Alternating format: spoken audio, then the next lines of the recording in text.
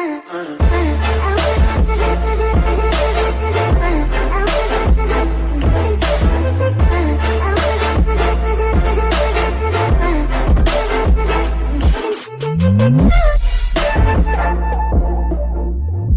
guys, how are you today? I hope you all are doing well. If so, then let me know in the comment section. And today I'm back with another interesting part of Deku teleported into high school DxD This is part 8 and if you haven't watched the first part, second, third, fourth and five six seven then you can check out our channel for the other parts and I will also provide the link in the description of playlist uh, link of the playlist in the description. So without further wasting time, let's get into the video and make sure to like the video and subscribe to the channel and press the bell icon for the latest notification.